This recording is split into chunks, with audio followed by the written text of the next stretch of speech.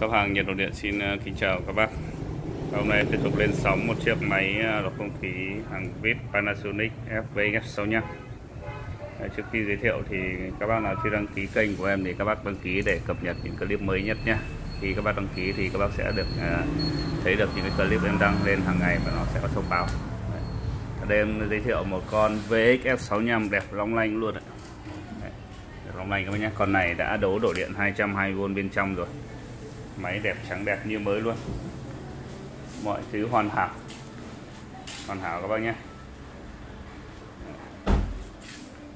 Tình trạng máy trắng đẹp khỏi phải nghĩ rồi. Vỏ nguyên bản đẹp. Đấy, các bạn nhìn thấy chưa? Cực đẹp luôn.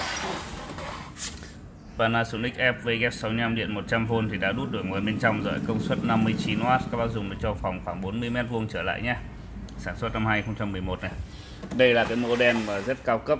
Đấy, nó chỉ đứng sau cái model VG70 thôi. Con này đầy đủ tính năng luôn. Có khóa trẻ em này công nghệ Econavi này điều chỉnh các cái cửa dâng này cửa vẫy này điều chỉnh tốc độ lọc này. Đấy, có 3 chế độ lọc không khí và bù ẩm này. Báo phần trăm độ ẩm này các bạn này. Đấy. Đấu điện điện 220V máy đẹp xuất sắc luôn nhé bên trong đã vệ sinh tháo sạch sẽ đẹp đẽ hết rồi, như mới luôn. Chúng bác nào đang có nhu cầu mua con này thì đây nó là cái lựa chọn hoàn hảo luôn, em phải nói là như vậy. Bên trong này vẫn đang để màng zin nhé. Màng zin còn rất đẹp. Đấy. còn các bạn không thích màng zin thì em thay màng mới. Đấy. màng zin trắng tinh cực đẹp rồi các bạn này. Những cái màng zin mà em đã để lắp vào máy thì đương nhiên nó phải đủ tiêu chuẩn em mới lắp. Còn nếu không là em bỏ. Đấy. màng than các bạn nhé. Màng than con này.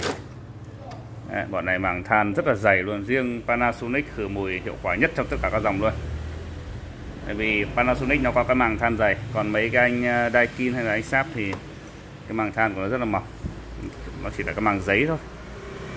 Đấy, cũng có con Sharp thì nó dùng màng than nhưng mà cũng có mà ờ, Sharp thì dùng màng giấy. Đây đa số thì Daikin thì đa số là chỉ có màng ờ, màng giấy thôi.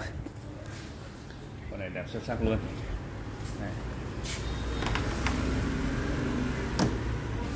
Bên này là bình nước bùa ẩm và màng cảm ẩm này. Bình nước bùa mới tinh. Đây, khay nước mới cho các bạn này. Màng trắng tinh như chưa dùng luôn. Thực ra cái màng này nó có vàng thì nó cũng không ảnh hưởng gì nhưng mà đây nó thể hiện cái sự đẹp của, của cái máy thôi. Nhé cực đẹp luôn. Xuất sắc.